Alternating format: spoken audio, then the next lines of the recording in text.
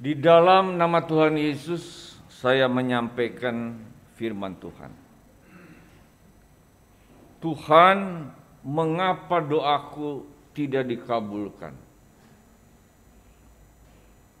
Bapak Ibu sekalian, doa adalah komunikasi secara roh antara manusia dengan Tuhan. Kita sebagai umat Tuhan membutuhkan doa. Harus senantiasa berdoa. Doa itu dapat digambarkan seperti seorang anak berbicara dengan bapaknya atau ayahnya. Bila kita sebagai umat Tuhan tidak berdoa, maka tidak ada komunikasi dengan Tuhan. Kalau kita tidak berdoa, kita tidak akan memperoleh kekuatan rohani dan kita tidak tahu bahwa sesuatu itu diperoleh atau berasal dari doa. Doa adalah kewajiban kita sebagai umat Tuhan. Doa ini sering dilukiskan seperti nafas rohani. Manusia perlu bernafas, demikian pula doa. Karena itu kalau manusia tidak berdoa, dia akan lemah rohaninya. Tuhan Yesus adalah Allah yang menjadi manusia sebagai manusia, dia juga ada kelemahan tubuh. Karena itu Tuhan Yesus perlu kekuatan. Karena itu dia pun berdoa. Kalau kita lihat di dalam Alkitab, Tuhan Yesus senantiasa berdoa. Hidupnya penuh dengan doa. Pagi-pagi masih gelap, dia pergi ke tempat sunyi dia berdoa. Dia berdoa waktu dibaptis, mau pilih murid, dia berdoa. Dia doa puasa 40 hari 40 malam. Di atas gunung dia berdoa. Di taman Getsemani dia berdoa. Di atas kayu salib menjelang kematiannya dia berdoa. Jadi doa itu sangat dipentingkan oleh Tuhan. Tetapi manusia sering meremehkannya. Karena itu Tuhan Yesus mengajarkan doa lewat perumpamaan betapa pentingnya doa. Kita lihat Lukas 18 ayat 1. Lukas 18 ayat 1 ini adalah perumpamaan tentang doa, itu seorang janda yang memohon terus-menerus kepada hakim agar membela haknya terhadap lawannya. Lukas 18 ayat 1. Yesus mengatakan satu perumpamaan kepada mereka untuk menegaskan, ditegaskan bahwa mereka harus selalu berdoa dengan tidak jemu-jemu. Di sini Tuhan Yesus tegaskan harus selalu berdoa dengan tidak jemu-jemu. Harus artinya wajib. Karena itu kita wajib berdoa harus berdoa. Selalu. Selalu itu terus menerus. Senantiasa berdoa. Doa ini dapat diilustrasikan seperti pelajaran yang tidak ada tamatnya. Jadi selama masih kita bernafas, masih hidup, kita terus menerus berdoa. Dikatakan tidak jemu-jemu Kenapa dikatakan tidak jemu-jemu? Sebab manusia bisa jemu, bisa bosan. Karena itu doa tidak boleh jemu, tidak boleh bosan. Kenapa harus selalu berdoa dengan tidak jemu? Sebab manusia ini ada kelemahan tubuh. Bisa malas berdoa, Sebab doa itu butuh waktu, butuh tenaga, butuh pikiran, butuh perasaan. Dan juga doa itu memerlukan ketekunan. Sebab tidak semua doa langsung dikabulkan. Ada doa yang harus menunggu. Terus menerus memohon baru mendapatkannya. Bapak Ibu sekalian, dapat terjadi di dalam kehidupan kita. Kita sudah berdoa kepada Tuhan, tetapi akhirnya tidak dikabulkan oleh Tuhan. Mengapa doa saya itu tidak dikabulkan oleh Tuhan? Bersyukur pada Tuhan kalau kita membaca Alkitab, kita dapat menemukan jawabannya. Mengapa doa kita itu tidak dikabulkan oleh Tuhan? Malam ini kita akan melihat satu persatu. Mengapa doa tidak dikabulkan? Yang pertama karena isi dari permohonannya adalah salah. Jadi isi doanya itu salah. Kitab Yakobus memberitahukan kita kebenaran ini. Yakobus 4 ayat 3. Yakobus 4 ayat 3. Atau kamu berdoa juga tetapi kamu tidak menerima apa-apa karena kamu salah berdoa. Sebab yang kamu minta itu hendak kamu habiskan untuk memuaskan hawa nafsu. Kitab Yakobus memberitahukan kita satu kebenaran. Kenapa kita berdoa tapi kita tidak menerima apa-apa? Tidak dikabulkan oleh Tuhan karena salah berdoa. Di mana salahnya? Sebab yang diminta atau dimohon itu adalah untuk kepuasan hawa nafsu. Karena itu kalau kita berdoa, isi doa itu untuk kepuasan hawa nafsu daging, maka Tuhan tidak akan mengabulkan. Alkitab mencatat satu peristiwa. Pada waktu itu Tuhan Yesus akan ke Yerusalem dan harus melewati daerah orang Samaria. Maka Tuhan mengirim beberapa utusan untuk mendahului dia dan mereka masuk ke satu desa orang Samaria. Tetapi orang Samaria tidak mau menerima Tuhan yang akan melewati daerah mereka. Melihat keadaan ini, maka Yakobus dan Yohanes murid Yesus bangkit amarahnya. Mari kita melihat Lukas 9. Lukas 9 ayat 51 sampai 56. Lukas 9 ketika ayat 51 ketika hampir genap waktunya Yesus diangkat ke sorga ia mengarahkan pandangannya untuk pergi ke Yerusalem 52 dan ia mengirim beberapa utusan mendahului dia. Mereka itu pergi lalu masuk ke suatu desa orang Samaria untuk mempersiapkan segala sesuatu baginya. 53 tetapi orang-orang Samaria itu tidak mau menerima dia karena perjalanannya menuju Yerusalem.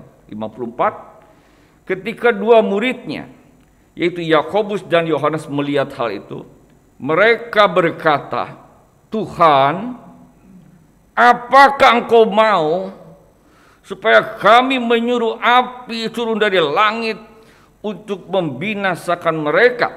55. Akan tetapi ia berpaling dan menegur mereka. Dari sini kita ketahui Tuhan Yesus tidak berkenan atas apa yang ditanyakan oleh Yakobus dan Yohanes. Di sini Yakobus dan Yohanes berkata, "Tuhan, apakah Engkau mau supaya kami menyuruh api turun dari langit membinasakan mereka?" Itu orang-orang Samaria ini. Dari hal ini kita ketahui Tuhan tidak berkenan karena permohonan ini didasari oleh hawa nafsu, maka tidak berkenan kepada Tuhan. Maka hari ini kalau doa kita untuk kepuasan hawa nafsu, maka Tuhan tidak akan mengabulkan. Bagaimana contohnya kepuasan hawa nafsu ini? Mungkin ada orang berdoa, "Ya Tuhan, saya berdoa kiranya bisa kena nomor undian berhadiah. Saya bisa dapat nomor satu, bisa cocok nomornya." Nah, ini juga hawa nafsu yang seperti ini. Atau juga berdoa, Ya Tuhan, berilah saya supaya kaya mendadak. Ini juga hawa nafsu. Yang begini tidak akan dikabulkan. Atau berdoa Tuhan, berilah saya menjadi orang top di dunia. Ini hawa nafsu. Atau juga berdoa, ya Tuhan, biarlah banyak wanita tergila-gila sama saya. Nah, ini juga hawa nafsu. Ya, permohonan seperti ini adalah salah dan jangan berharap Tuhan akan mengabulkan. Yang pertama itu permohonan yang salah. Yang kedua, Alkitab memberitahukan kepada kita kalau kita berdoa tapi tidak dengan iman, penuh kebimbangan, maka jangan berharap doa kita dikabulkan. Kita kembali melihat kitab Yakobus Yakobus 1 ayat 6 dan 7. Yakobus 1 ayat 6 dan 7. Hendaklah ia memintanya dalam iman dan sama sekali jangan bimbang. Sebab orang yang bimbang sama dengan gelombang laut yang diombang-ambingkan kian kemari oleh angin. Orang yang demikian janganlah mengira bahwa ia akan menerima sesuatu dari Tuhan. Kitab Yakobus memberitahukan kepada kita mengapa setelah berdoa kepada Tuhan tidak menerimanya. Dikarenakan memintanya tidak dengan iman dan penuh dengan kebimbangan. Karena penting sekali ketika kita berdoa memohon kepada Tuhan harus didasari oleh iman. Jadi iman ini betapa penting. Bagaimana kalau tidak ada iman? Maka tidak berkenan kepada Tuhan. Ibrani 11 ayat 6. Ibrani 11 ayat 6. Tetapi tanpa iman tidak mungkin orang berkenan kepada Allah. Sebab barang siapa berpaling kepada Allah, ia harus percaya bahwa Allah ada dan bahwa Allah memberi upah kepada orang yang sungguh-sungguh mencari Dia. Dikatakan tanpa iman tidak mungkin orang berkenan kepada Allah. Jadi harus dengan iman. Maka kita berdoa harus dengan landasan iman. Jadi betapa penting iman ini Tuhan akan melihat iman kita. Alkitab mencatat ada dua orang buta datang kepada Tuhan Yesus memohon belas kasihan. Bagaimana Tuhan Yesus melihat iman dari dua orang buta ini? Tuhan Yesus tanya dulu, percayakah engkau aku sanggup melakukannya? Kita melihat Matius pasal 9. Matius 9 ayat 27 sampai 30. Matius 9 ayat 27 sampai 30. Ayat 27 ketika Yesus meneruskan perjalanannya dari sana, dua orang buta mengikutinya sambil berseru-seru dan berkata, "Kasihanilah kami, hai anak Daud." 28 Setelah Yesus masuk ke dalam sebuah rumah, datanglah kedua orang buta itu kepadanya dan Yesus berkata kepada mereka, "Percayakah kamu bahwa aku dapat melakukannya?" Mereka menjawab, "Ya Tuhan, kami percaya." 29. Lalu Yesus menjamah mata mereka sambil berkata, "Jadilah kepadamu menurut imanmu." 30. Maka meleklah mata mereka dan Yesus pun dengan tegas berpesan kepada mereka, katanya jagalah supaya jangan seorang pun mengetahui hal ini. Dalam perjalanan Tuhan Yesus atau dalam pelayanannya, Tuhan Yesus bertemu dengan dua orang buta. Jadi kedua orang buta ini memohon belas kasihan Tuhan. Bagaimana Tuhan Yesus? Tuhan Yesus bertanya lebih dulu kepada mereka. Percayakah kamu bahwa aku dapat melakukannya? Percaya tidak? Mereka jawab, "Ya Tuhan, kami percaya." Dan Tuhan Yesus melihat bahwa dua orang buta ini benar-benar beriman. Maka Tuhan Yesus katakan, "Jadilah kepadamu menurut imanmu." Maka seketika itu juga terbukalah mata kedua orang buta ini. Jadi kita lihat Tuhan sangat mementingkan iman. Percayakah kamu aku dapat melakukannya? Mereka jawab, percaya. Jadilah kepadamu menurut imanmu. Maka dikabulkan doanya.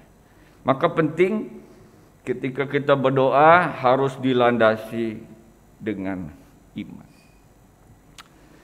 Bapak Ibu sekalian, Dulu saya bertugas di gereja Surabaya. Di sana ada seorang ibu jemaat gereja Yesus Sejati Surabaya. Ibu ini ketika itu sedang mengandung dan diperiksa oleh dokter kandungan dinyatakan bahwa janinnya itu terinfeksi virus ya. Namanya toksoplasma ya mungkin dari hewan itu ya. Jadi dokter kandungan memberi saran digugurkan saja. Jadi ibu ini kemudian bertemu dengan saya memberitahukan pendeta saya mau gugurkan kandungan ini. Ya bagaimana ini? Dokter maksudnya dokter menyuruh gugurkan. Nanti ini bayinya cacat ya. Saya tidak bisa digugurkan tidak boleh. Kalau anda menggugurkan berarti membunuhnya. Jadi biarkan saja apa adanya diserahkan kepada Tuhan. Kalau lahir cacat itu ada kehendak Tuhan mungkin Tuhan suruh memelihara anak seperti ini jadi waktu itu saya beritahu jangan digugurkan, Anda membunuhnya. Jadi waktu itu dia e, ibu ini tidak menggugurkan kandungannya. Jadi saya suka besuk. Jadi saya sering doakan dalam nama Tuhan Yesus ya.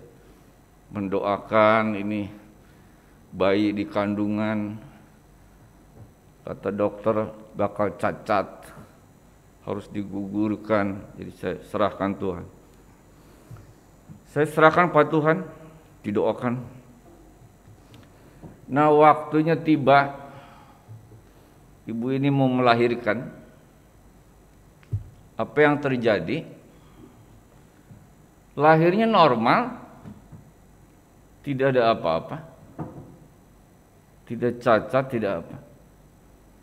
Jadi begitu lahir normal ibu itu sangat gembira. Oh. Kalau ikut saran dokter udah bunuh ini. Nah, inilah dengan iman. Ternyata didoakan didoakan. Ternyata nggak apa-apa. Dan setelah kejadian ini ibu ini mempersembahkan satu kendaraan ya ke gereja Surabaya waktu itu. Inilah iman. Kalau nuruti dokter sudah membunuh. Tapi diserahkan Tuhan, didoakan, percaya lahir normal. Inilah maka penting sekali ya iman. Yang ketiga, Alkitab memberitahukan Doa tidak dikabulkan itu karena doanya tanpa kesungguhan hati. Ini disebut bertele-tele. Matius 6 ayat 7 dan 8. Matius 6 ayat 7 dan 8. Lagi pula dalam doamu itu janganlah kamu bertele-tele seperti kebiasaan orang yang tidak mengenal Allah. Mereka menyangka bahwa karena banyaknya kata-kata doanya akan dikabulkan. 8. Jadi janganlah kamu seperti mereka karena Bapamu mengetahui apa yang kamu perlukan sebelum kamu minta kepadanya. Bapak Ibu sekalian, apa yang dimaksud bertele-tele? Bertele-tele di sini maksudnya seperti orang latah, dia mengulang kata-kata yang tidak jelas. Nah, Tuhan Yesus beritahukan khasiat doa itu bukan ditentukan oleh banyaknya kalimat, tapi terletak kepada kesungguhan hati. Sekalipun banyak kalimat doanya, tapi kalau tidak ada kesungguhan, maka doanya tidak berhasil. Maka Tuhan Yesus mengecam orang-orang Farisi. Orang Farisi ini doanya panjang-panjang, bertele-tele, tapi tanpa kesungguhan hati. Kita melihat Matius 23 ayat yang ke-14. Matius 23 ayat 14. Celakalah kamu hai ahli-ahli Taurat dan orang-orang Farisi. Hai kamu orang-orang munafik sebab kamu menelan rumah janda-janda sedang kamu mengelabui mata orang dengan doa yang panjang-panjang Sebab itu kamu pasti akan menerima hukuman yang lebih berat. Inilah orang Farisi yang dikecam oleh Tuhan Yesus. Doanya panjang, tapi tidak betul-betul timbul dari hati. Ya, inilah uh, yang dimaksud uh, teletel. Bapak Ibu sekalian, gereja kita dikritik oleh jemaat gereja lain. Katanya di gereja sejati itu doanya bertele-tele. Mereka itu doanya ucapkan haleluya. Mungkin ratusan kali haleluya, haleluya, haleluya. Itu tele-tele. Bapak Ibu sekalian mengucapkan haleluya berulang-ulang itu bukan tele-tele. Haleluya itu artinya puji Tuhan. Haleluya itu puji ya Yahweh. Dan ini sesuai Alkitab ya. Orang-orang di surga berseru haleluya. Wahyu 19 ayat 1. Wahyu 19 ayat 1. Kemudian daripada itu aku mendengar seperti suara yang nyaring dari himpunan besar orang banyak di surga katanya. Haleluya. Keselamatan dan kemuliaan dan kekuasaan ada pada Allah kita. Jadi haleluya itu keluar dari hati memuji Tuhan. Ini bukan bertele-tele. Karena itu kalau kita berdoa berbahasa roh, kita ucapkan haleluya, itu menunjukkan ketekunan, bukan bertele-tele. Yang dimaksud bertele-tele oleh Tuhan Yesus, kalimatnya panjang tapi tidak ada kesungguhan di dalam hati ini. Jadi Eh, kita ketika kita berdoa berbahasa roh itu juga jangan dihitung. Jangan sampai saya sudah haleluya sekian kali makin banyak makin bagus. Itu juga jangan demikian, Saudara. Ya. Jadi eh, jangan berpikir oh haleluya saya udah sekian kali makin banyak makin bagus, bukan demikian. Haleluya artinya puji Tuhan. Yang terpenting adalah hati memuji memuliakan Tuhan. Dan Alkitab menyuruh menyuruh kita berdoa di dalam roh. Kitab Yudas ayat 20. Yudas ayat 20. Akan tetapi kamu saudara-saudaraku yang kekasih, bangunlah dirimu sendiri di atas dasar imanmu yang paling suci dan berdoalah dalam Roh Kudus berdoa dalam Roh Kudus, disuruh. Ya, jadi sesuai dengan kebenaran firman Tuhan. Tuhan Yesus pernah berdoa tiga kali di Taman Getsemani. Perkataan doa Tuhan Yesus itu doanya sama, itu-itu juga. Tapi itu bukan tele-tele. Kita lihat Matius 26 ayat 44. Matius 26 ayat 44. Ia membiarkan mereka di situ lalu pergi dan berdoa untuk ketiga kalinya dan mengucapkan doa yang itu juga. Jadi Tuhan Yesus tiga kali berdoa di Taman Getsemani, perkataannya sama, tapi itu bukan tele-tele. Ya, jadi yang dimaksud tele-tele itu berdoa ya panjang lebar tapi tanpa kesungguhan hati. Ada orang berdoa, doanya ditulis panjang sekali, lalu dibacakan, diulang-ulang, ya seperti guru mendikte murid. Ada juga orang berdoa, doanya lama, seperti orang khotbah, jadi enggak amin amin ya. Ini doa atau khotbah? Lama sekali amin amin. Jadi jangan sampai demikian. Hal yang keempat, mengapa doa tidak dikabulkan? Alkitab memberitahukan karena ada dosa yang diperbuat di hadapan Tuhan. Kita lihat Yesaya 59 ayat 1 dan 2. Yesaya 59 ayat 1 dan 2. Sesungguhnya tangan Tuhan tidak kurang panjang untuk menyelamatkan dan pendengarannya tidak kurang tajam untuk mendengar. Dua. Tetapi merupakan pemisah antara kamu dan Allahmu ialah segala kejahatanmu. Dan yang membuat dia menyembunyikan diri terhadap kamu sehingga ia tidak mendengar ialah segala dosamu. Jadi karena dosa-dosa umat, maka Tuhan tidak mau mendengarkan doa umatnya. Tuhan mendengar saja tidak mau, apalagi mengabulkannya. Kita kembali melihat Mazmur 66 ayat ke-18. Mazmur 66 ayat 18 seandainya ada niat jahat di dalam hatiku, tentulah Tuhan tidak mau mendengar. Ada niat jahat saja.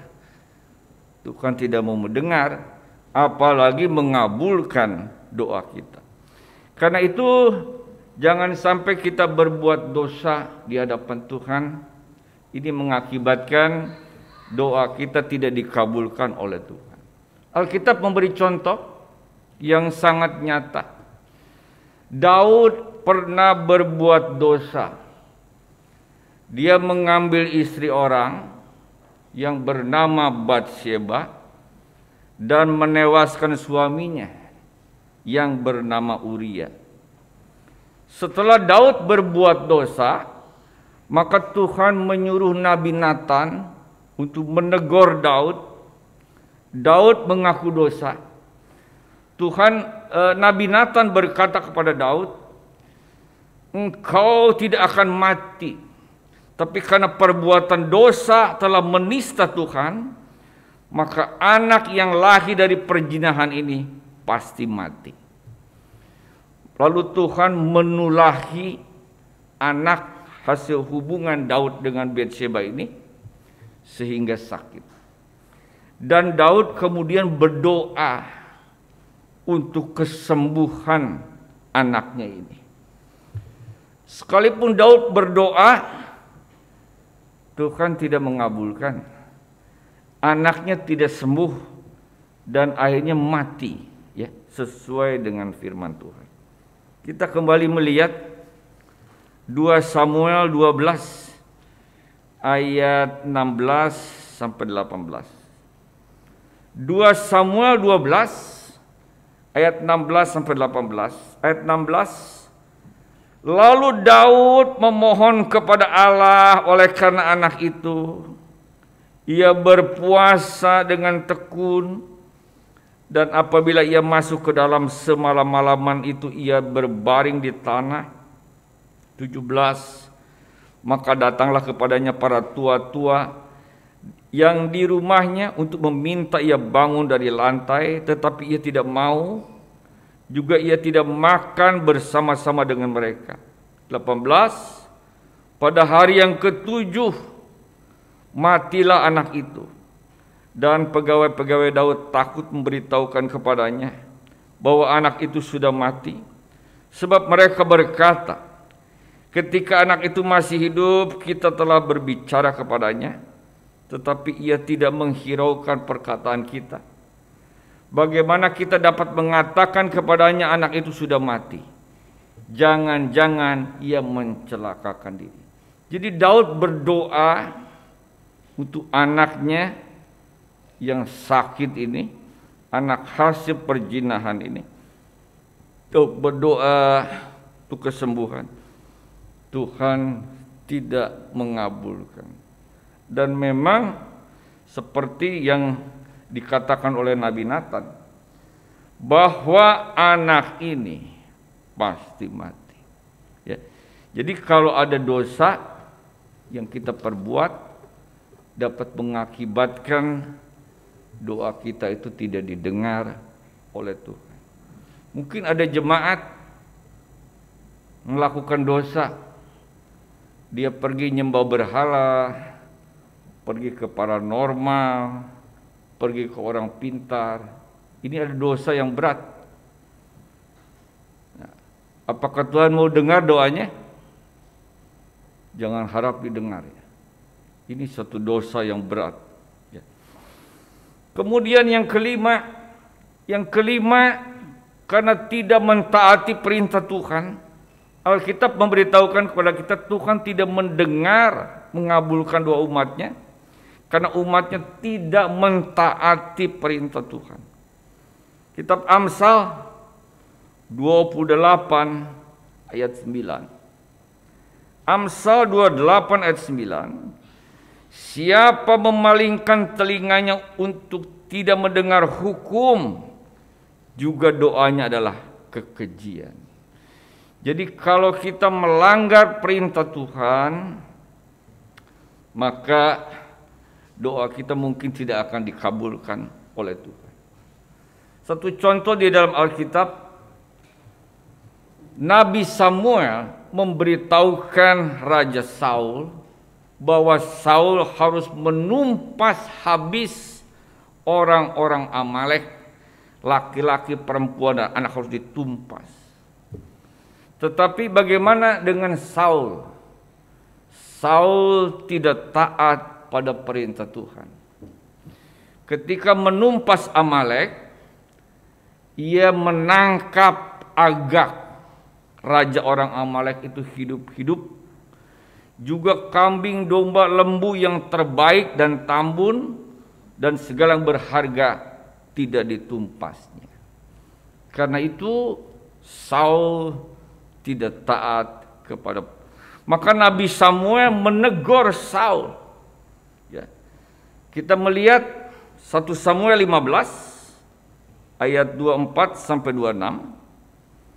1 Samuel 15 ayat 24 sampai 26. Berkatalah Saul kepada Samuel, Aku telah berdosa, sebab telah kulangkai titah Tuhan dan perkataanmu, tetapi aku takut kepada rakyat, karena itu aku mengabulkan permintaan mereka. 25 Maka sekarang ampunilah kiranya dosaku. Kembalilah bersama-sama dengan aku. Maka aku akan sujud menyembah kepada Tuhan.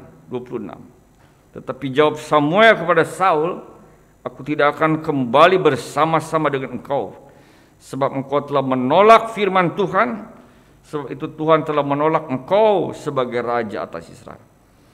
Karena Saul tidak taat pada perintah Tuhan maka ketika Saul berhadapan dengan musuh yaitu orang Filistin. Saul ketakutan, lalu Saul berdoa kepada Tuhan. Tuhan sama sekali tidak menjawabnya. Karena Saul tidak taat pada perintah Tuhan. Kembali melihat 1 Samuel 28 ayat 4 sampai 6.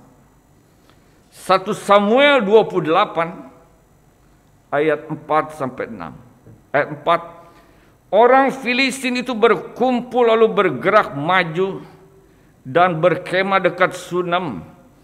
Saul mengumpulkan seluruh orang Israel lalu mereka berkemah di Gilboa. 5. Ketika Saul melihat tentara Filistin itu, maka takutlah ia. Dan hatinya sangat gemetar. 6. Dan Saul bertanya kepada Tuhan, tetapi Tuhan tidak menjawab dia, baik dengan mimpi, baik dengan urim, baik dengan perantaran para nabi. Alkitab mencatat Saul bertanya kepada Tuhan, dia berdoa. Tuhan tidak jawab. Baik dengan mimpi, dengan urim, atau juga perantaran nabi. Kenapa demikian? Karena Saul sebelumnya tidak taat pada perintah Tuhan. Ini berbeda dengan Daud. Daud taat dan berkenan kepada Tuhan. Ketika Daud berhadapan dengan orang Filistin, Daud berdoa kepada Tuhan. Tuhan menjawab. Berbeda dengan Saul. Saul berdoa tidak dijawab, tapi Daud berdoa Tuhan jawab. Kita lihat 2 Samuel 5 ayat 19. 2 Samuel pasal 5 ayat 19. Bertanyalah Daud kepada Tuhan, apakah aku harus maju melawan orang Filistin itu? Akan kau serahkanlah mereka ke dalam tanganku? Tuhan menjawab Daud, majulah sebab aku pasti akan menyerahkan orang Filistin itu ke dalam tangan. Di sini kita melihat dua perbedaan yang jelas. Saul tidak taat pada perintah Tuhan. Dia berdoa, Tuhan tidak jawab. Daud taat kepada Tuhan, berkenan kepada Tuhan. Ketika berhadapan dengan Filistin, Daud berdoa. Daud tanya, Apakah kau harus maju melawan orang Filistin? Akan kau serahkan ke mereka tanganku? Tuhan jawab, maju. Sebab aku akan menyerahkan mereka ke dalam tanganmu. Daud dikabulkan doanya. Saul tidak. Karena Saul tidak taat pada perintah Tuhan. Jadi hari ini demikian. Kalau doa kita tidak dikabulkan, jangan-jangan diri sendiri tidak taat pada perintah Tuhan. Ada jemaat tidak menguduskan hari Sabat, berarti tidak mentaati perintah Tuhan. Jangan-jangan doanya tidak dikabulkan Tuhan. Karena tidak menguduskan hari Sabat. Maka harus memegang perintah Tuhan agar doa kita dikabulkan oleh Tuhan.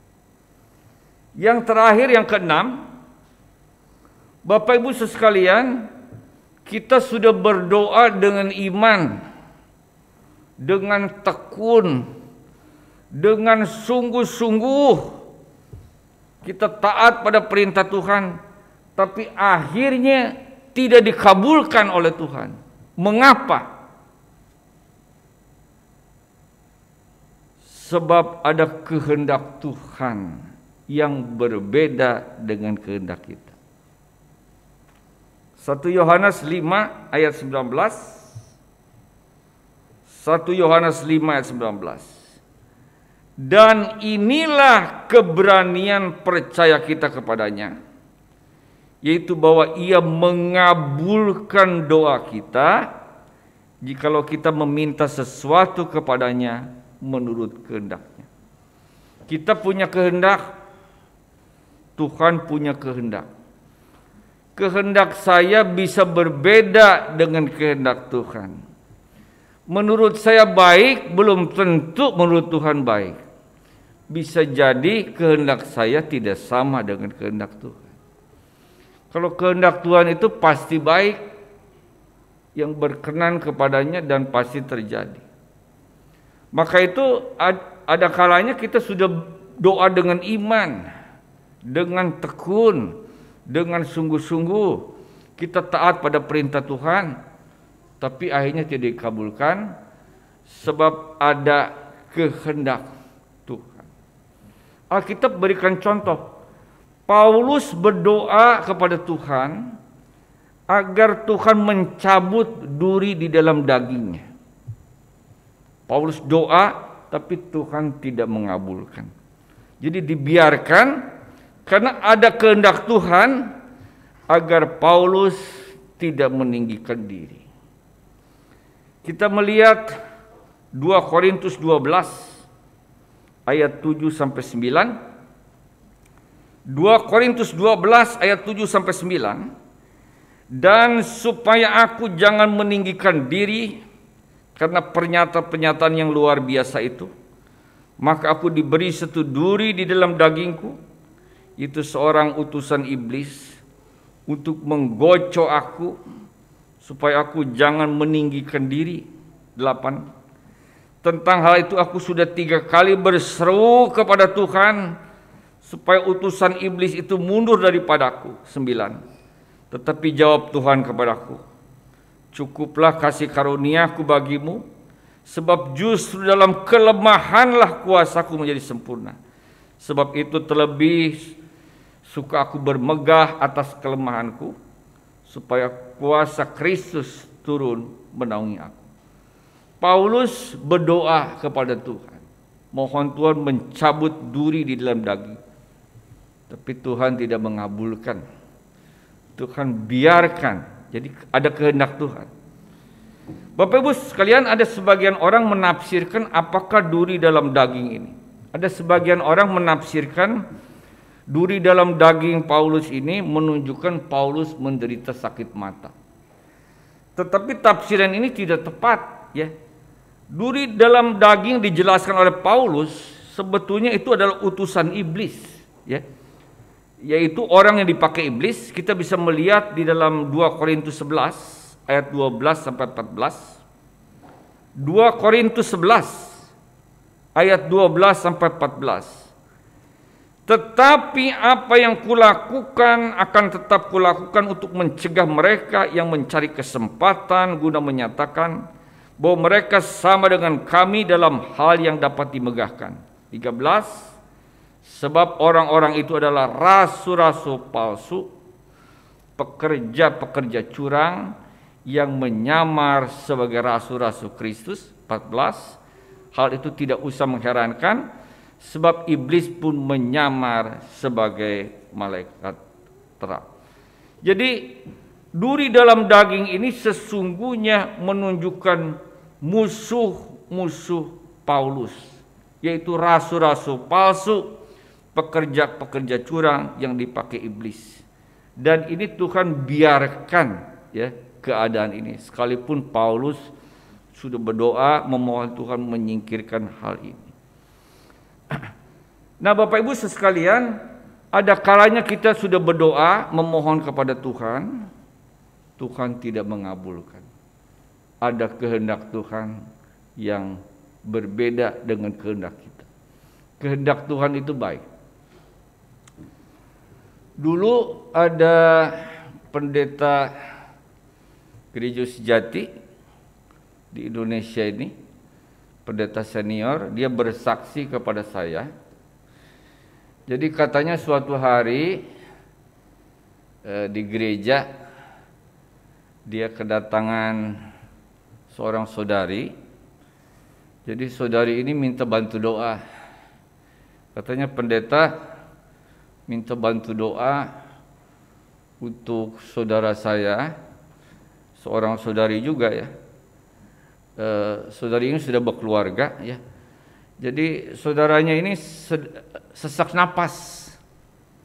Jadi minta tolong pendeta bantu doa supaya sesak napasnya hilang.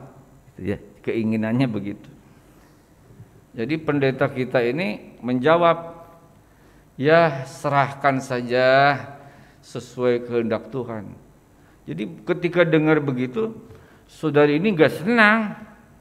Pendeta jangan ngomong gitu. Saya ingin saudara saya itu hilang sesak napasnya. Kok jadi kan terserah kehendak Tuhan. Kalau kehendak Tuhan itu lemah, mesti kehendak saya. Saya ingin saudara, saudara saya ini bisa sesak napasnya hilang. Jadi pendeta bilang serahkan pada kehendak Tuhan. Sebab kehendak Tuhan itu baik. Jadi didoakan ternyata tetap ya saudari yang sakit ini tetap sesak napas. Jadi Tuhan biarkan sesak napas. Akhirnya keadaan begitu lalu dilarikan ke rumah sakit. Jadi dokter rumah sakit periksa kenapa ini bisa terjadi sampai sesak napas seperti ini. Jadi waktu diperiksa ternyata penyebab sesak napas ini di dalam kandungannya ada calon bayi tapi tidak sempurna jadinya itu. Jadinya itu hanya ada kepala, rambut, gigi. Cuma itu aja. Nggak ada yang lain, ya. Ada kepala, rambut, gigi. Dan itulah penyebab sesak nafas itu. Ya jadi dokter bersyukur ya gara-gara sesak napas jadi ketahuan penyebabnya itu ada calon bayi yang tidak normal itu maka kemudian dioperasi dikeluarkan ya calon bayi itu yang hanya ada kepala rambut gigi ya tidak ada yang lain setelah dikeluarkan sesak nafasnya hilang sembuh Di sinilah kehendak Tuhan. Kalau kehendak saudari ini cepat-cepat hilang sesak napasnya. Tapi kehendak Tuhan berbeda. Tuhan biarkan sesak napas itu supaya ketahuan bahwa ini ada masalah di kandungannya. Jadi kalau sesak napasnya hilang, mungkin nggak nggak ketahuan ada ada masalah di kandungan ini bisa membahayakan uh, bakal ibu ini ya bisa mengancam nyawanya. Jadi inilah kehendak Tuhan. Maka kehendak Tuhan itu baik. Kita lihat terakhir kitab Roma Roma pasal 12 ayat 2. Roma 12 ayat 2. Janganlah kamu menjadi serupa dengan dunia ini, tetapi berubahlah oleh pembaharuan budimu, sehingga kamu dapat membedakan manakah kehendak Allah. Di sini ada titik dua ya Bapak Ibu. Apa yang baik, yang berkenan kepada Allah, dan yang sempurna. Jadi kehendak Allah itu cirinya satu baik, pasti baik. Kedua, yang berkenan kepadanya. Dikenan, direstui Tuhan. Yang ketiga, sempurna. Pasti terjadi. Jadi kehendak Allah itu pasti baik. Kehendak kita belum tentu baik. Kehendak Allah itu yang dikenan oleh Allah, yang direstui Allah. Dan kehendak Allah sempurna pasti terjadi karena dia maha kuasa. Inilah enam hal mengapa doa tidak dikabulkan. Pertama, karena isi permohonannya salah untuk kepuasan hawa nafsu. Yang kedua, berdoa tapi tidak ada iman atau bimbang yang ketiga berdoa bertele-tele tanpa kesungguhan hati. Yang keempat telah melakukan dosa di hadapan Tuhan. Yang kelima, tidak mentaati firman Tuhan. Yang keenam, ada kehendak Tuhan yang lain untuk kebaikan kita. Inilah mengapa doaku tidak dikabulkan. Amin.